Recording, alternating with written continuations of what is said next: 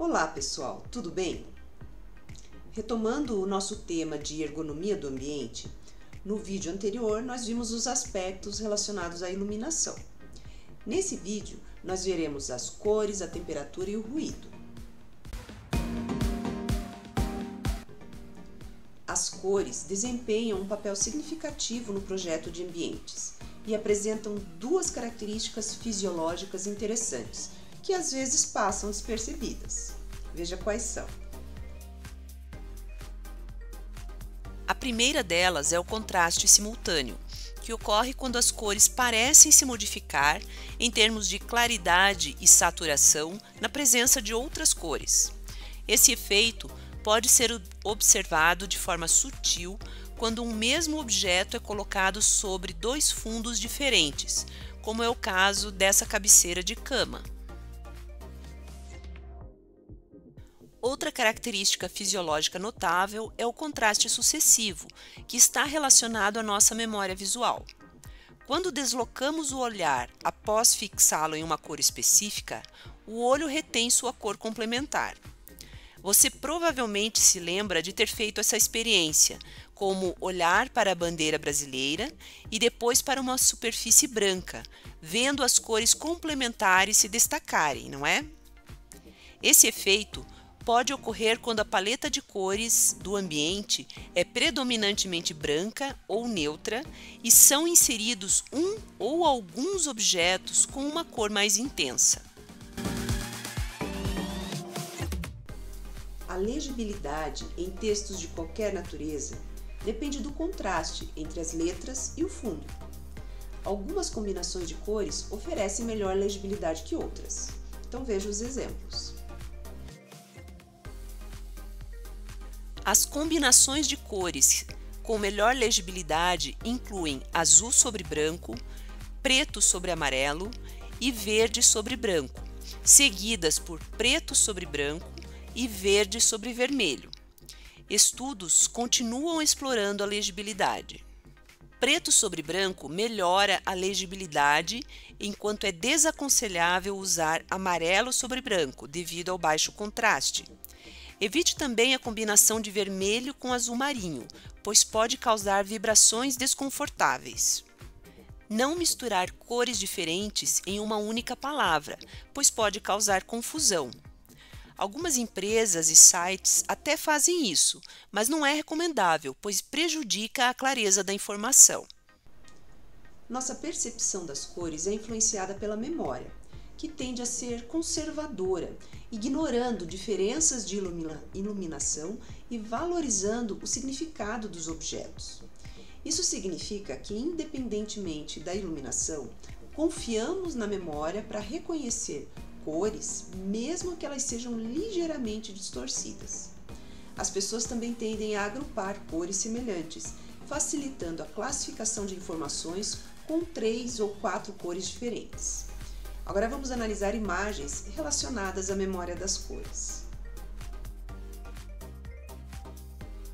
A cor associada à forma do copo com líquido dentro nos remete ao sabor mais conhecido para este líquido, mesmo que haja uma pequena distorção da cor por causa da iluminação, nós já determinamos os sabores dos sucos com base na nossa memória. Mesmo que um objeto azul seja mal iluminado e pareça cinza, se for um objeto conhecido, nós diremos que ele é azul. A comunicação visual explora com frequência a classificação por cores para organizar informações. A visibilidade dos objetos é influenciada por diversos fatores, como a luz, o tamanho, a forma, o ângulo visual, a textura e as cores do objeto. Portanto, a escolha de cores para um ambiente deve levar em consideração as associações emocionais, culturais e visuais que a gente faz. Veja algumas recomendações para a escolha das cores em ambientes. Pessoas com depressão devem evitar ambientes predominantemente azuis, pois o azul pode aumentar a sensação de calma, o que pode ser prejudicial para quem está deprimido. Por outro lado, cores quentes e vibrantes, como laranja e amarelo, tendem a criar uma sensação de agitação, tornando-as mais adequadas para ambientes onde uma pessoa depressiva passará muito tempo. Outra recomendação importante é evitar o uso de mais de seis cores em um espaço visual, pois isso pode causar confusão e dificultar o estabelecimento de hierarquia de informações. É fundamental considerar que existem pessoas com deficiências visuais, como o daltonismo, que podem ter dificuldades na interpretação da informação. Portanto, é importante utilizar a redundância, transmitindo a informação por meio de mais de um canal sensorial. Essas associações emocionais podem ser melhor aprofundadas em livros sobre teoria da cor que fornecem recomendações sobre elas. No nosso curso, nós temos uma disciplina específica de composição que aprofunda o conhecimento de, de teoria da cor.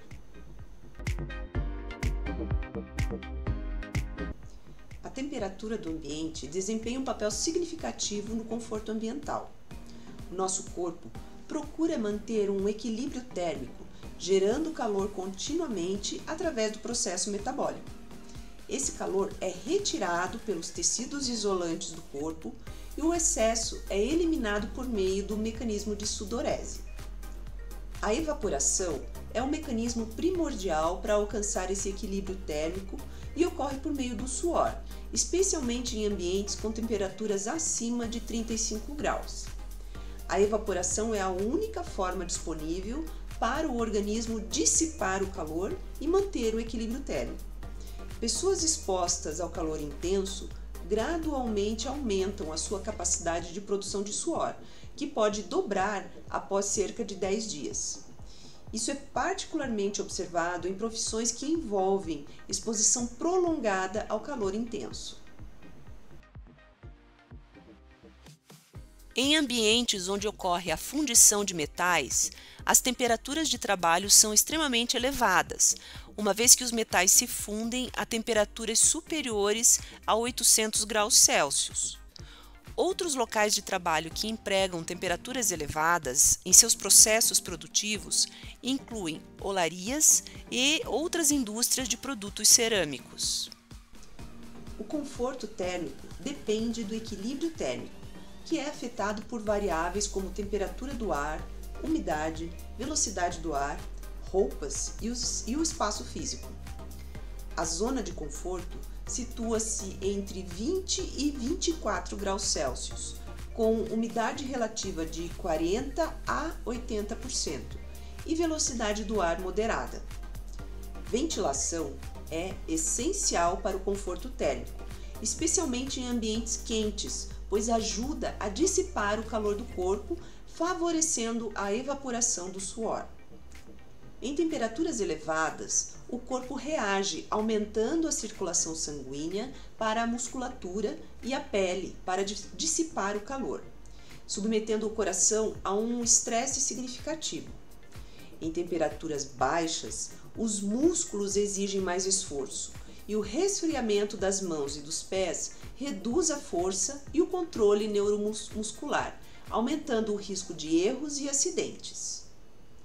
A temperatura ambiente também afeta o desempenho mental. Em temperaturas extremas, a concentração é prejudicada pela sensação de desconforto, levando a distrações.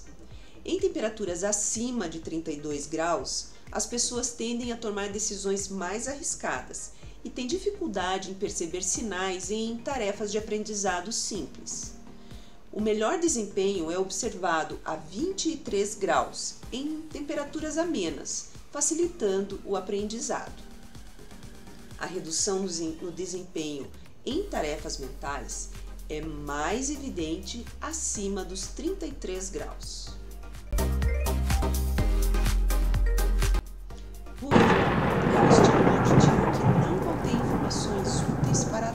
Execução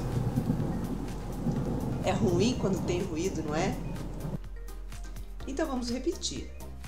Ruído é o estímulo auditivo que não contém informações úteis para a tarefa em execução. Na sequência, eu vou apresentar uma tabela com os limites toleráveis de ruído para diferentes tipos de atividades. 50 decibéis é um nível de ruído que para a maioria das pessoas é um ambiente silencioso, mas cerca de 25% delas terão dificuldade para dormir. 55 decibéis é o máximo aceitável para ambientes que exijam silêncio, como bibliotecas. 60 decibéis é aceitável em ambientes de trabalho durante o dia.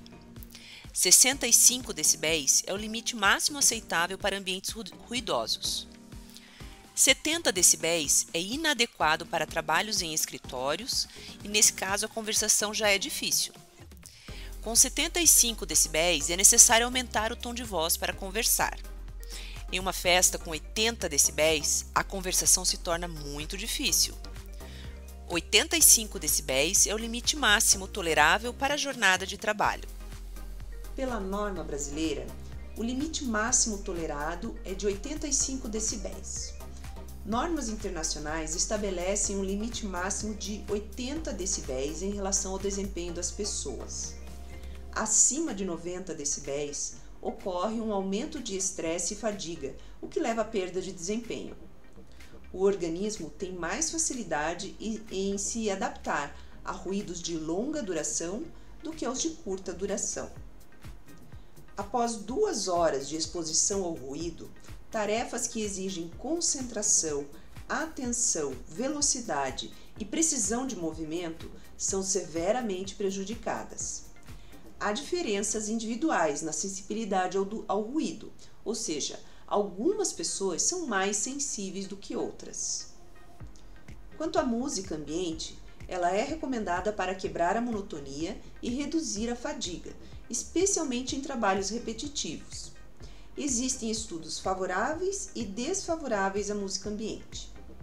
Nos estudos favoráveis, a música melhora a atenção, a vigilância, produz sensações de bem-estar, melhora o rendimento do trabalho e reduz os índices de acidentes e de absenteísmo. Lembrando que absenteísmo refere-se às faltas provocadas por problemas físicos. Por outro lado, Estudos contrários à música ambiente argumentam que a música é tocada continuamente e com isso ela não produz os efeitos desejados e ela deve ser tocada apenas durante parte da jornada de trabalho.